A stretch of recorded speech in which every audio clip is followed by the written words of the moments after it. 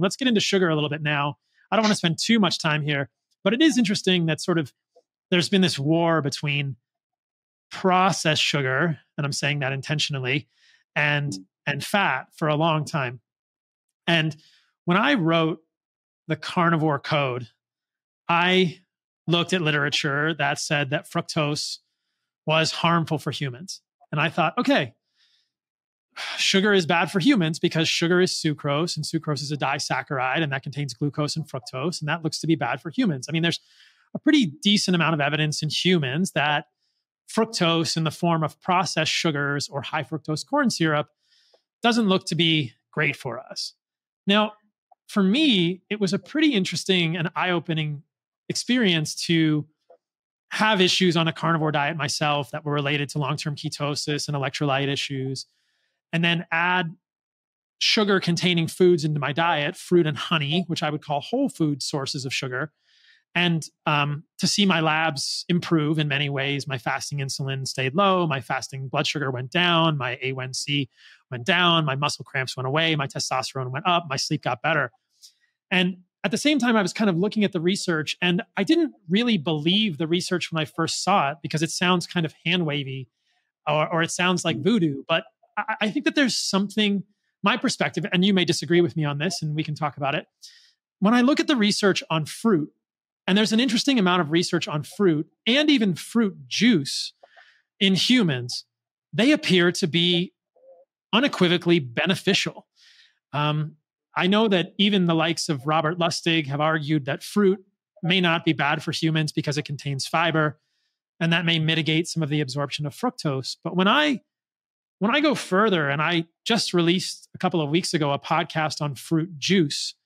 And so I mm-hmm. looked at all the research I could find on fruit juice, you know, watermelon juice, pomegranate juice, cherry juice, grape juice, orange juice all of these have minuscule amounts of fiber and they seem to be pretty beneficial for humans with with outcomes that show decreased oxidized LDL in vitro, which is really the only way to study oxidation of LDL, improved endothelial function, um, decreased products of oxidation in humans, decreased inflammatory markers, certain prostaglandins, um, the list kind of goes on and on. I was kind of like, I was kind of wide eyed thinking, like, okay, um, even fruit juice looks to be beneficial to humans in so many ways. And I'm happy to share the studies. I think we can put the studies on the screen and the YouTube corroborating all of that. I mean, I'll, I'll say this and then I'll, I'll be curious for your response. Watermelon juice is so interesting to me specifically because there are multiple studies in which they give people glucose. So they'll do an oral glucose tolerance test, an OGTT, and they'll infuse glucose and make people hyperglycemic, essentially with a quote unquote processed sugar. Um, and, and you see micro and macrovascular dysfunction of the endothelium when you do that. But when you give people watermelon juice along with an OGTT, it attenuates all of the negative effects of the OGTT in turn at the level of the endothelium. So it's really interesting that like I mean, I think you could even make an argument that fruit juice is even like an antidote to processed sugar. I, I don't think processed mm. sugar is good for humans, but I wonder, I mean, do you think it's possible that that we are conflating research with processed sugar and high fructose corn syrup with with fruit and saying that fruit or fruit juice is bad for humans based on research done with processed sugars, which don't really behave the same way in the human body? Or do you think I'm off base with that that premise? No, look, no, I, I think I think that I, I sort of I'm sort of somewhere in the middle. You know, I, I do agree with you that that that is certainly different than processed sugar and, and straight sugar on its own, 100%, and, and you know, high fructose corn syrup and sucrose and all that sort of stuff.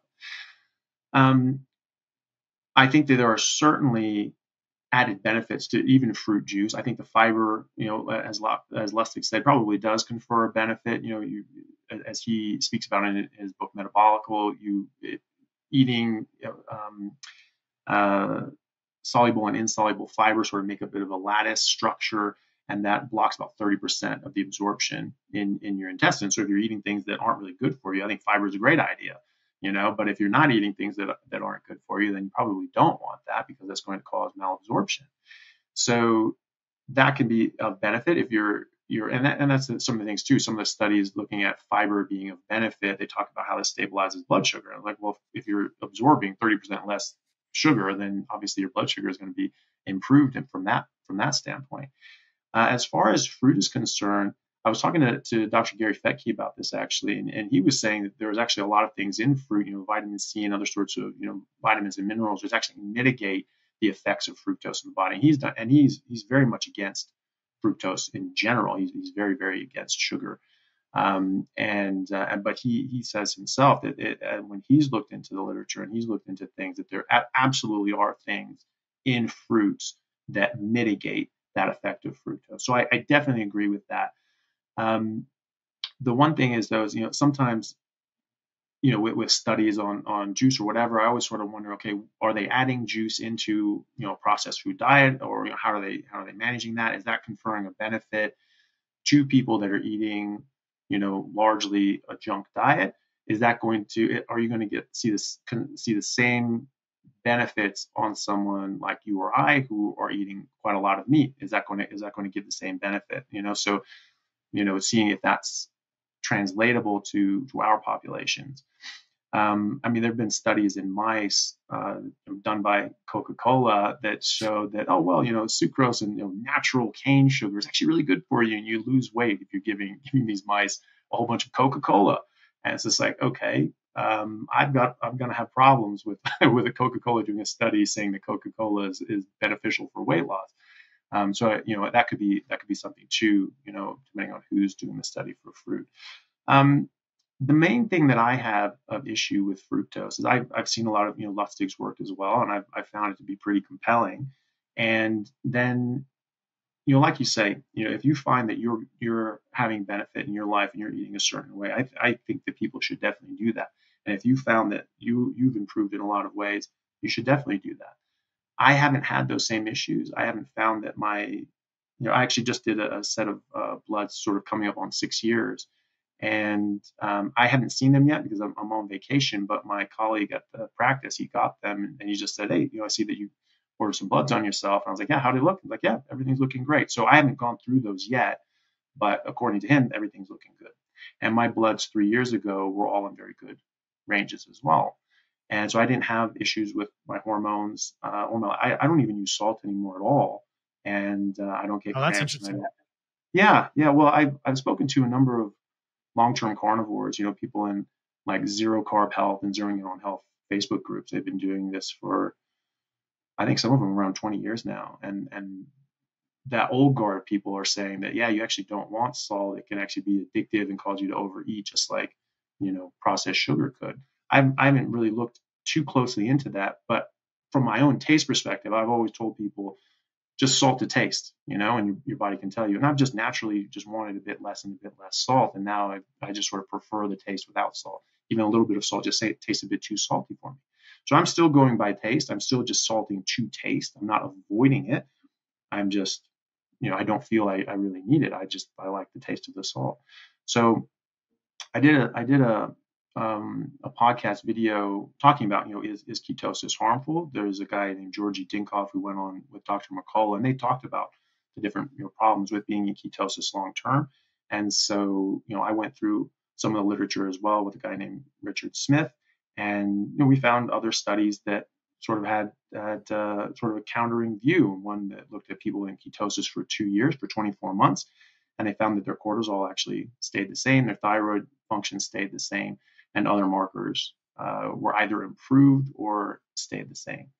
And at least for me, I've, I've noticed that, you know, I feel perfectly good doing what I'm doing. And so I don't need to add that in. Um, I have seen people, especially with people that have been carb addicted, sugar addicted, when they start eating, uh, you know, fruit and honey, that that can trigger those sorts of that that sort of addictive compulsion that they've had previously in their eating, and they can sort of go down a bad path. And some of them start eating a bit more fruit, a bit more honey, and a lot more honey, and a lot more fruit, and then they start slipping into all the processed garbage. And I've spoken to you know one gentleman I spoke to a while ago. he said that it, it started with that and he just started getting more and more fruit and honey. And then he was, you know, six months later, he was back to drinking soda and eating pizza on the couch. And he had sort of lost all the ground that he had gained. And so I'm, I'm very, I, I'm, I'm 100% in your, in your camp as far as people should self experiment and do what feels right for them. And, uh, and I encourage people to just eat more meat. And that's what I want them to do. I don't think everyone has to do exactly what I do through self experimentation and, and my reading of the literature, I think that just eating fatty meat is what's best for me. And I've noticed that in my body as well. And I just want to encourage people to try different things, open their mind, like you say, and and try to experiment with themselves and just not be afraid of fat, not be afraid of meat. And if they want to eat vegetables, fine. But I don't think that people should be eating vegetables because they think they have to. If they want to and they feel that that's benefiting them, go for it. But you know, I don't want people eating that sort of stuff because they feel they have to, because I don't feel that they have to. And so just trying to educate them that way. But if they if they want to, I, I know a lot of people that include fruits and vegetables, or, or yeah, even fruits and vegetables, but you know, fruit and honey and things like that. And that's fine if that's what they want to do. I get a bit concerned when people have had serious carb addictions, serious weight issues, um, reincorporating that sort of thing because I've, I've seen them slip down uh, and get quite addicted to carbs again and, and really uh, you know lose all the ground that they've gained. Um, I think that you know having been myself basically in ketosis for a long time, and now you know have I been in ketosis all the time? I don't know. I haven't checked my ketones. I have no idea. That's you what know? I was going to ask I, you. I check my HbA. Yeah, no, I see. Yeah, so I don't I don't check my ketones and, and things like that all the time. I, I, go by first principles. You know, I, I, think that this is really how we evolved to eat.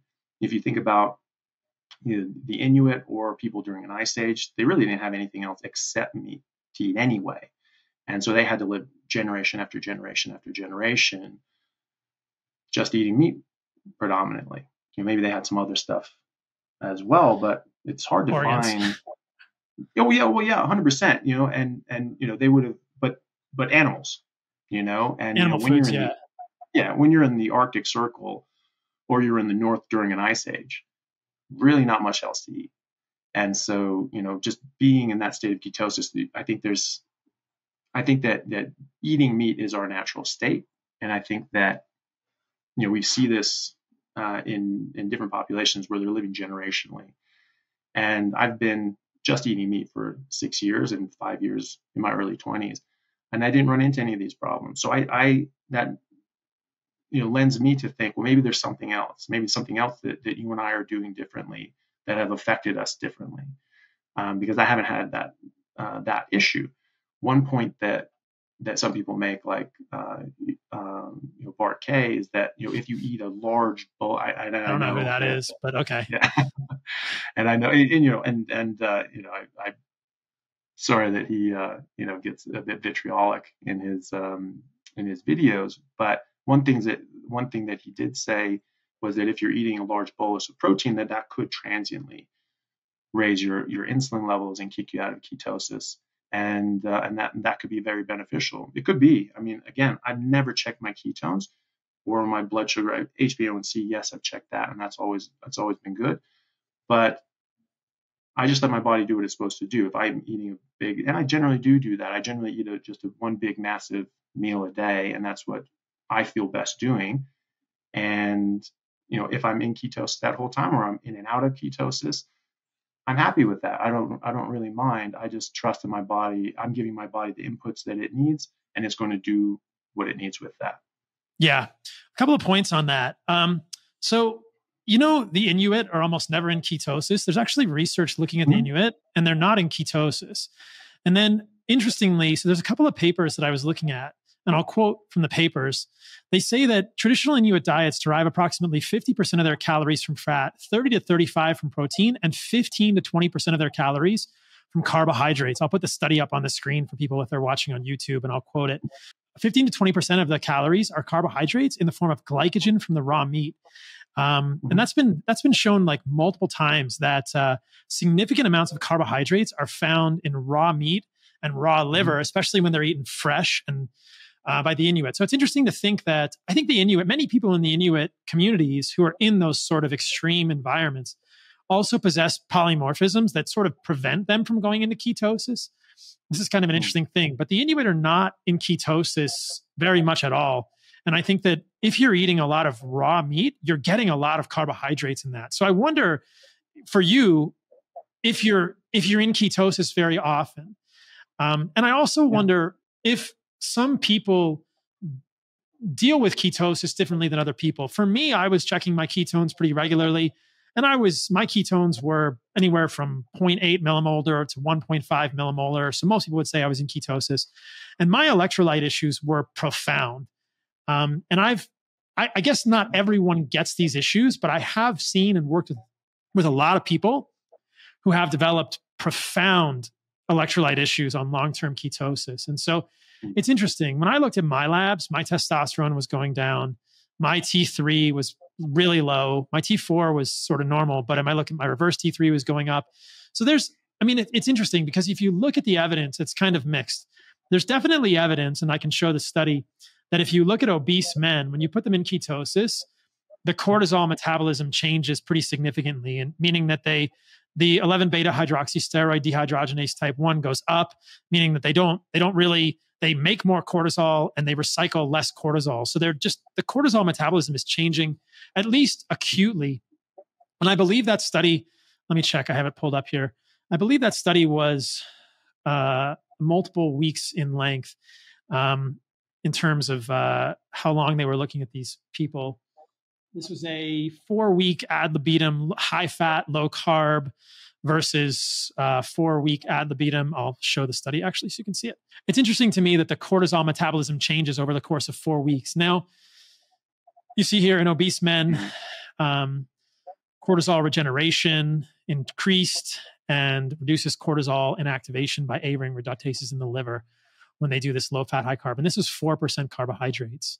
So when I look at the literature, I see I see studies like this that say, hmm, like there there are there is some evidence that at least in some people, long-term ketosis can negatively affect well, I would say moderate term ketosis, four weeks of ketosis, at least in that study.